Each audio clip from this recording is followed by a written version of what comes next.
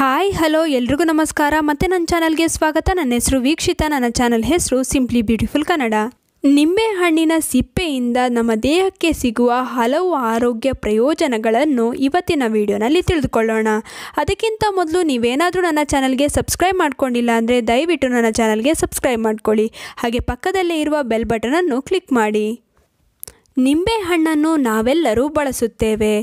ತ್ವಚೆ, ಕೂದಲು ಮತ್ತು ಒಟ್ಟಾರೆ ಆರೋಗ್ಯಕ್ಕೆ ನಿಂಬೆ ರಸ ಉತ್ತಮ ಆರೈಕೆಯನ್ನು ನೀಡುತ್ತದೆ. ಸಾಮಾನ್ಯವಾಗಿ ನಿಂಬೆ ರಸವನ್ನು ಹಿಂಡಿದ ಬಳಿಕ ಸಿಪ್ಪೆಯನ್ನು ನಾವು ಎಸೆದು ಬಿಡುತ್ತೇವೆ. ವಾಸ್ತವದಲ್ಲಿ ನಿಂಬೆಹಣ್ಣಿನಲ್ಲಿರುವುದಕ್ಕಿಂತಲೂ ಹತ್ತು ಪಟ್ಟು ಹೆಚ್ಚಿನ ಪೋಷಕಾಂಶಗಳು ನಿಂಬೆಹಣ್ಣಿನ ಸಿಪ್ಪೆಯಲ್ಲಿದೆ. ನಿಂಬೆಹಣ್ಣಿನ ಸಿಪ್ಪೆಯಲ್ಲಿ ವಿಟಮಿನ್ಗಳು, ಖನಿಜಗಳು, ಕರಗದ ನಾರು ಹಾಗೂ ಕ್ಯಾಲ್ಸಿಯಂ ಪೊಟ್ಯಾಷಿಯಂ ಮತ್ತು ವಿಟಮಿನ್ ಸಿ ಉತ್ತಮ ಪ್ರಮಾಣದಲ್ಲಿದೆ. ಇವು ಆರೋಗ್ಯವನ್ನು ಹಲವು ರೀತಿಯಲ್ಲಿ ವೃದ್ಧಿಸುತ್ತದೆ. ಅಲ್ಲದೆ ನಿಂಬೆಹಣ್ಣಿನ ಸಿಪ್ಪೆಯಲ್ಲಿ ಕೆಲವು ಆರೋಗ್ಯಕರ ಕಿಣ್ವಗಳಿದ್ದು, ಇವು ಆರೋಗ್ಯಕ್ಕೆ ತಮ್ಮ ಪಾಲಿನ ನೆರವನ್ನು ನೀಡುತ್ತದೆ. ಹಾಗಾಗಿ ನಿಂಬೆಹಣ್ಣಿನ ಸಿಪ್ಪೆಯನ್ನು ಎಸೆಯುವ ಬದಲು ಇದನ್ನು ಬಳಸಿಕೊಳ್ಳುವುದೇ ಜಾಣತನದ ಕ್ರಮವಾಗಿದೆ. ಈ ಸಿಪ್ಪೆಯನ್ನು ಬಳಸಿಕೊಳ್ಳುವುದರಿಂದ ದೇಹಕ್ಕೆ ಸಿಗುವ ಲಾಭಗಳೇನು ಗೊತ್ತಾ? ಕ್ಯಾನ್ಸರ್ ತಡೆಗಟ್ಟಲು ಸಹಾಯಕಾರಿ. ಲಿಂಬೆಹಣ್ಣಿನ ಸಿಪ್ಪೆ ಕ್ಯಾನ್ಸರ್ ತಡೆಗಟ್ಟಲು ಸಹಾಯ ಮಾಡುತ್ತದೆ. ಇದರಲ್ಲಿರುವ ಪೋಷಕಾಂಶಗಳು ಕ್ಯಾನ್ಸರ್ ಪೀಡಿತ ಜೀವಕೋಶಗಳ ವಿರುದ್ಧ ಹೋರಾಡುವ ಶಕ್ತಿಯನ್ನು ಪಡೆದುಕೊಂಡಿದೆ.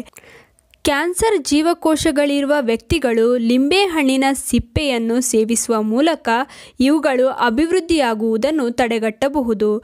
ಕ್ಯಾನ್ಸರ್ ಪೀಡಿತ ಜೀವಕೋಶಗಳು ಆಮ್ಲೀಯ ವಾತಾವರಣದಲ್ಲಿ ಶೀಘ್ರವಾಗಿ ಅಭಿವೃದ್ಧಿ ಹೊಂದುತ್ತದೆ. ಬ್ಯಾಕ್ಟೀರಿಯಾ ಶಿಲೀಂಧ್ರಗಳ ಸೋಂಕನ್ನು ನಿವಾರಿಸುತ್ತದೆ. ಮೂಳೆಗಳ ಆರೋಗ್ಯ. ಲಿಂಬೆಹಣ್ಣಿನ ಸಿಪ್ಪೆಯಲ್ಲಿ ವಿಟಮಿನ್ ಸಿ ಮತ್ತು ಕ್ಯಾಲ್ಸಿಯಂ ಉತ್ತಮ ಪ್ರಮಾಣದಲ್ಲಿದೆ. ಇವು ಮೂಳೆಗಳ ಆರೋಗ್ಯ ಉತ್ತಮಗೊಳಿಸುತ್ತದೆ ಹಾಗೂ ಮೂಳೆಗಳಿಗೆ ಸಂಬಂಧಿಸಿದ ಕಾಯಿಲೆಗಳ ಚಿಕಿತ್ಸೆಗೂ ನೆರವಾಗುತ್ತದೆ. ವಿಶೇಷವಾಗಿ ಉರಿಯೂತದ ಸಂಧಿವಾತ ಮೂಳೆಗಳಲ್ಲಿ ಗಾಳಿಗುಳ್ಳೆಗಳು ತುಂಬಿಕೊಳ್ಳುವುದು ಮೊದಲಾದ ತೊಂದರೆಗಳ ಚಿಕಿತ್ಸೆಗೆ ನೆರವಾಗುತ್ತದೆ. ಎಲುಬುಗಳಿಗೆ ಬೇಕಾಗಿರುವ ಮತ್ತೊಂದು ಪ್ರಮುಖ ಖನಿಜಾಂಶವೆಂದರೆ ಅದು ಕ್ಯಾಲ್ಸಿಯಂ ಲಿಂಬೆಹಣ್ಣಿನ ಸಿಪ್ಪೆಯಲ್ಲಿ ಕ್ಯಾಲ್ಸಿಯಂ ಕೂಡ ಇರುವುದರಿಂದ ಅದು ಎಲುಬಿನ ಆರೋಗ್ಯವನ್ನು ಸುಧಾರಿಸುತ್ತದೆ. ತೂಕ ಇಳಿಸಿಕೊಳ್ಳಲು ಸಹಾಯಕಾರಿ. ಲಿಂಬೆಯ ಸಿಪ್ಪೆಯ ಸೇವನೆಯಿಂದ ತೂಕ ಇಳಿಕೆಯ ಪ್ರಯತ್ನಗಳಿಗೆ ಹೆಚ್ಚಿನ ಬೆಂಬಲ ಸಿಗುತ್ತದೆ. ಇದರಲ್ಲಿರುವ ಪೆಕ್ಟ್ವಿನ್ ಎಂಬ ಪೋಷಕಾಂಶ ಜೀರ್ಣಗೊಳ್ಳಲು ಹೆಚ್ಚಿನ ಕೊಬ್ಬನ್ನು ಬಳಸಿಕೊಳ್ಳುವ ಮೂಲಕ ಕೊಬ್ಬನ್ನು ಕರಗಿಸಿ ತೂಕದ ಇಳಿಕೆಗೆ ನೆರವಾಗುತ್ತದೆ. ತೂಕ ಇಳಿಸಿಕೊಳ್ಳಲು ನೀರಿಗೆ ನಿಂಬೆ ರಸ ಹಾಕಿ ಕುಡಿಯುತ್ತಿದ್ದರೆ ಅದಕ್ಕೆ ಇನ್ನು ಮುಂದೆ ನಿಂಬೆ ಹಣ್ಣಿನ ಸಿಪ್ಪೆ ಸೇರಿಸಿ ಕುಡಿಯಿರಿ. ಇದರಿಂದ ತೂಕ ಬೇಗನೆ ಇಳಿಯುತ್ತದೆ. ಕೊಲೆಸ್ಟ್ರಾಲ್ ಕಡಿಮೆಗೊಳಿಸಿ ಹೃದಯ ಸಂಬಂಧಿ ತೊಂದರೆಗಳಿಂದ ರಕ್ಷಣೆ ನೀಡುತ್ತದೆ. ನಿಂಬೆಯ ಸಿಪ್ಪೆಯಲ್ಲಿರುವ ಪಾಲಿಫೆನಾಲ್ ಫ್ಲೆವನಾಯ್ಡ್ಗಳು ದೇಹದಲ್ಲಿ ಕೊಲೆಸ್ಟ್ರಾಲ್ ಮಟ್ಟ ಸಮತೋಲನದಲ್ಲಿರಲು ನೆರವಾಗುತ್ತದೆ. ಅಲ್ಲದೆ, ನಿಂಬೆ ಸಿಪ್ಪೆಯಲ್ಲಿರುವ ಪೊಟ್ಯಾಷಿಯಂ ರಕ್ತದ ಒತ್ತಡವನ್ನು ಸೂಕ್ತ ಮಟ್ಟದಲ್ಲಿರಿಸಲು ನೆರವಾಗುತ್ತದೆ. ಇದರ ಜೊತೆಗೆ ಲಿಂಬೆ ಸಿಪ್ಪೆಯ ಸೇವನೆಯಿಂದ ಹೃದಯ ಸ್ತಂಭನ ಮತ್ತು ಹೃದಯ ಸಂಬಂಧಿ ರೋಗಗಳನ್ನು ತಡೆಗಟ್ಟಲು ಇದು ಸಹಾಯ ಮಾಡುತ್ತದೆ. ತ್ವಚೆಯ ತೊಂದರೆಗಳ ವಿರುದ್ಧ ರಕ್ಷಣೆಯನ್ನು ನೀಡುತ್ತದೆ. ನಿಂಬೆ ಸಿಪ್ಪೆಯಲ್ಲಿರುವ ಪೋಷಕಾಂಶಗಳು ತ್ವಚೆಗೆ ಹೆಚ್ಚಿನ ಪ್ರಯೋಜನಕಾರಿಯಾಗಿವೆ. ಇವುಗಳು ಚರ್ಮದಲ್ಲಿ ಮೊಡವೆಗಳು, ನೆರಿಗೆಗಳು, ಕಪ್ಪು ಕಲೆಗಳು ಮತ್ತು ಮಚ್ಚೆಗಳಾಗದಂತೆ ತ್ವಚೆಯನ್ನು ರಕ್ಷಿಸುತ್ತದೆ. ನಿಂಬೆ ಸಿಪ್ಪೆಯಲ್ಲಿ ಸಮೃದ್ಧವಾಗಿರುವ ಆಂಟಿಆಕ್ಸಿಡೆಂಟ್ಗಳು ತ್ವಚೆಯಿಂದ ಕಲ್ಮಶಗಳನ್ನು ನಿವಾರಿಸಿ ಈ ತೊಂದರೆಗಳಿಂದ ರಕ್ಷಿಸುತ್ತದೆ. ರೋಗ ನಿರೋಧಕ ಶಕ್ತಿ ಹಾಗೂ ಜೀರ್ಣಕ್ರಿಯೆಯನ್ನು ಉತ್ತಮಗೊಳಿಸುತ್ತದೆ. ನಿಂಬೆ ಸಿಪ್ಪೆಯಲ್ಲಿ ಕರಗದ ನಾರು ಉತ್ತಮ ಪ್ರಮಾಣದಲ್ಲಿದ್ದು ಜೀರ್ಣಕ್ರಿಯೆಯನ್ನು ಸುಲಭವಾಗಿಸುತ್ತದೆ ಹಾಗೂ ಕರುಳುಗಳಲ್ಲಿ ಆಹಾರ ಚಲನೆಯನ್ನು ಸುಲಭಗೊಳಿಸುತ್ತದೆ. ಅಲ್ಲದೆ ವಿಟಮಿನ್ ಸಿ ದೇಹದಲ್ಲಿ ಎದುರಾಗುವ ಸೋಂಕುಗಳಿಂದ ರಕ್ಷಣೆ ಒದಗಿಸುತ್ತದೆ. ರಕ್ತನಾಳಗಳನ್ನು ಬಲಗೊಳಿಸುತ್ತದೆ. ವಿಟಮಿನ್ ಸಿ ಲಿಂಬೆ ಸಿಪ್ಪೆಯಲ್ಲಿ ಹೆಚ್ಚಾಗಿದ್ದು ಇದು ರಕ್ತನಾಳಗಳನ್ನು ಬಲಪಡಿಸಲು ನೆರವಾಗುತ್ತದೆ. ಈ ಮೂಲಕ ರಕ್ತನಾಳಗಳಿಗೆ ರಕ್ಷಣೆಯನ್ನು ನೀಡುತ್ತದೆ. ಇದು ಅಧಿಕ ರಕ್ತದ ಒತ್ತಡದಿಂದಲೂ ದೇಹಕ್ಕೆ ರಕ್ಷಣೆಯನ್ನು ಒದಗಿಸುತ್ತದೆ. ಮಧುಮೇಹವನ್ನು ತಡೆಯುತ್ತದೆ.